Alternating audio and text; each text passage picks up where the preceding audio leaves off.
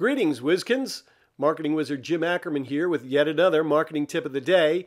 And for the last several tips, we focused on the AIDA formula. I want to go back today and revisit the first two points of the AIDA formula, A and I. Remember, it's attention, interest, desire, and action. Today we're going to take another look at attention and interest.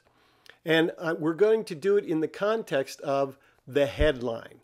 Now, first of all, you must realize that every ad has a headline. Even broadcast ads have a headline. It's the first things out of the mouth of the person who's talking in that particular case. Sales presentations have a headline. When your face to face salesperson walks in to talk to somebody, the first words out of his mouth will accomplish, hopefully, the first two responsibilities of the ad. That is, capture attention, convert the attention into interest.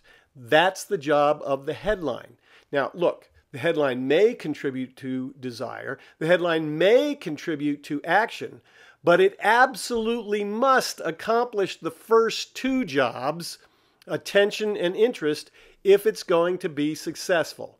Most headlines fail to do this, and that's why most ads are unsuccessful. Think about it.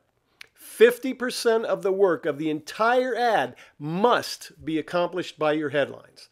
What this tells you is you ought to spend more time working on your headlines and making sure they're good.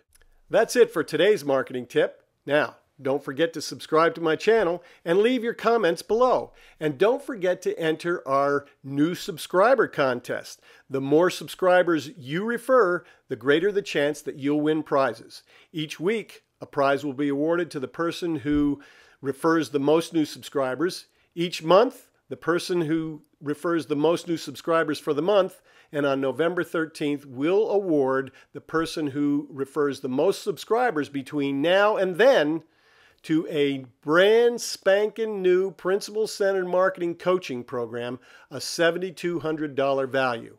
The details for the contest are just coming up so stay tuned and find out what you need to do to win that $7,200 prize. Over $20,000 in prizes are give, being given away in this contest. Don't forget to get your share. Be a whizkin, not a poof. And we'll see you next time with another marketing tip to help you get more customers who will pay you more money more often, the fastest, easiest, most cost effective ways possible.